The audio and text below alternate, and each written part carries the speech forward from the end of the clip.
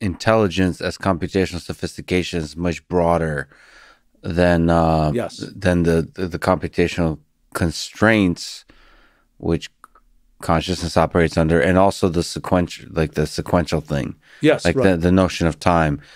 That's that's kind of interesting. But then the the, the follow up question is like, okay, starting to get a sense of what is intelligence, and how does that connect to a human brain? Because you're saying, um, intelligence is almost like a fabric, like what we like plug into it or something. Like yeah, I think uh, you know people. our people consciousness plugs into it.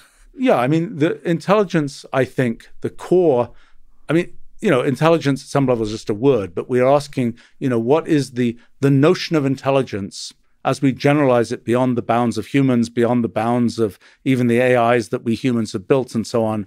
You know, what what is intelligence? You know, is the weather, you know, people say the weather has a mind of its own. What does that mean? You know, can the weather be intelligent?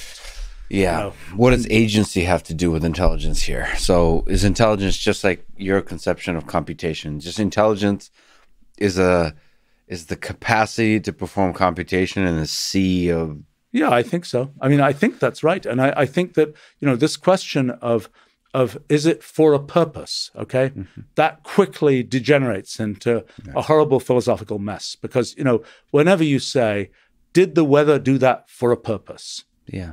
Right? Well, yes, it did. It was trying to move a bunch of hot air from the equator to the poles or something. That's its purpose. But w- why? Because I, I seem to be equally as dumb today as I was yesterday. So there's some persistence, uh, like a consistency over time that the intelligence I plugged into. So like, what's? It seems like there's a hard constraint Well, between the amount of computation I can perform and my consciousness. Like they seem to be really closely connected somehow. Well, I think the point is that the thing that gives you kind of the ability to have kind of conscious intel- intelligence, you, you can have kind of this. Okay, so so one thing is we don't know intelligences other than the ones that are very much like us Yes. right? And the ones that are very much like us, I think, have this feature of single thread of time, bounded, you know, computationally bounded. Now that, but you also need computational sophistication.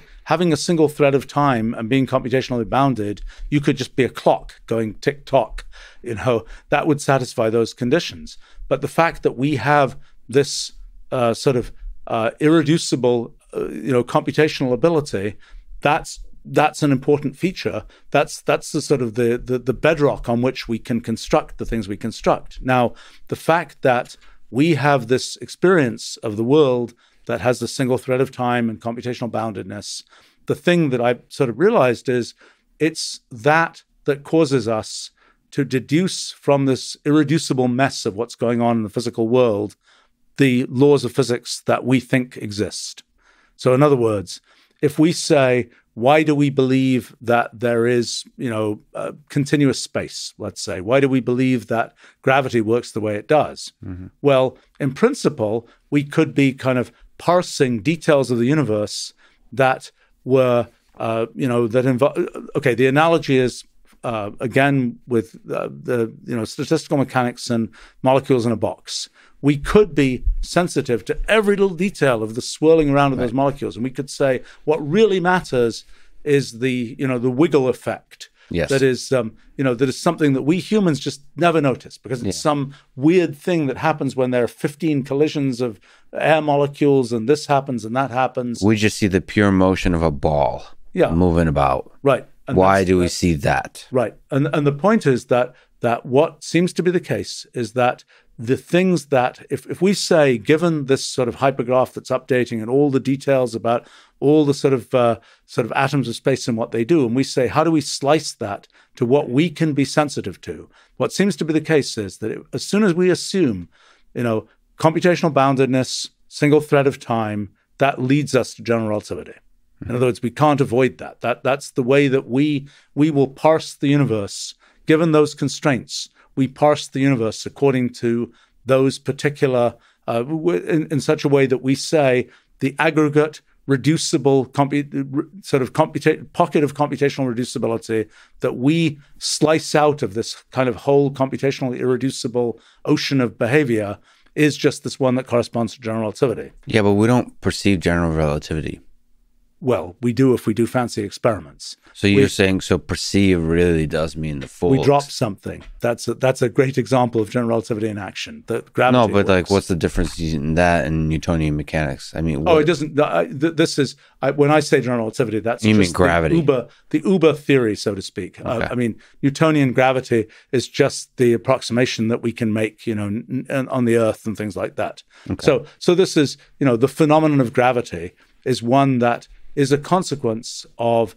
You know, we would perceive something very different from gravity. So, so the way to understand that is when we think about okay, so we make up reference frames with which we parse what's happening in space and time. So, in other words, one of the one of the things that we do is we say, as time progresses, uh, everywhere in space is ha- uh, something happens at a particular time, and then we go to the next time, and we say this is what space is like at the next time. This is what space is like at the next time.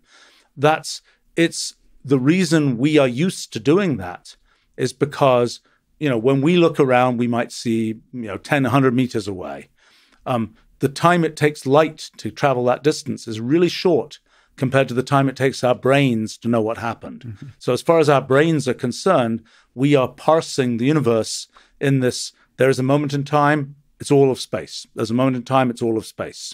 You know if we were the size of planets or something we would have a different perception because the speed of light would be much more important to us. We wouldn't have this perception that uh, things happen progressively in time everywhere in space. Um, and so that's an important kind of constraint. And the reason that we kind of parse the universe in the way that causes us to say gravity works the way it does is because we're doing things like deciding that we can say the universe exists, space has a definite structure. Uh, there is a moment in time, space has this definite structure. We move to the next moment in time, space has another structure. That kind of setup is what lets us kind of deduce kind of what to, to parse the universe in such a way that we say gravity works the way it does. So uh, that kind of reference frame is that the illusion of that is that you're saying that's somehow useful for consciousness. Like- That's what consciousness does. Because in a sense, what consciousness is doing is there are uh, it's it's insisting that the universe is kind of sequentialized. Right. That is, um, and it, it is not allowing the possibility that, oh, there are these multiple threads of time and they're all flowing differently. It's like saying, no, you know, everything is happening in this one thread of experience that we have. And that illusion of that one thread of experience cannot happen at the planetary scale. So you're are you saying typical human? Are you saying we are at a, a human level is special here for consciousness? Like Well, for our kind of consciousness, it's it's uh, you know if we existed at a scale close to the elementary length, for example, then our perception of the universe would be absurdly different. okay, so but this makes consciousness seem like a weird side effect of this particular scale. And so who cares? I mean, Well, so yeah. consciousness is not that special.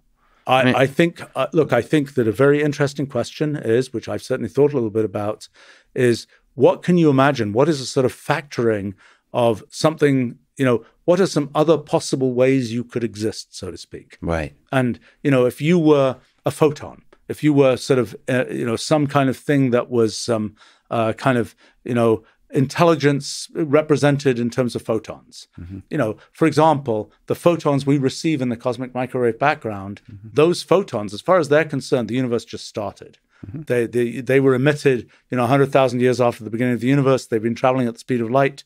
Time stayed still for them, and then they just arrived, and we just detected them. so for them, the universe just started, and that's a different perception of, you know, that has implications for a very different perception of time. They don't have that single thread that seems to be really important for being able to tell a heck of a good story. So we Yes. humans Yeah, we can sto- tell a story, we can, right? We can tell a story, and we, what other uh, kind of stories can you tell? So photon is a really boring story.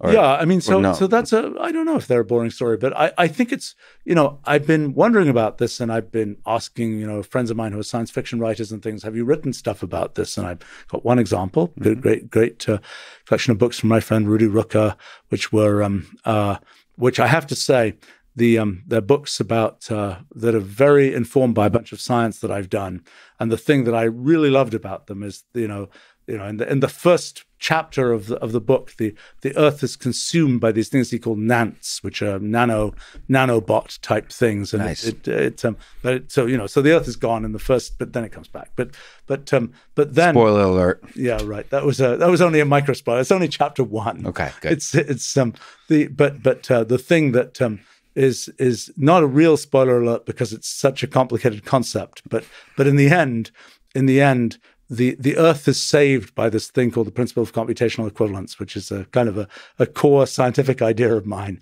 And I was just like like thrilled. I, I don't read fiction books very often, um, and I was just thrilled. I get to the end of this, and it's like, oh my gosh, you know, everything is saved by this sort of deep scientific principle.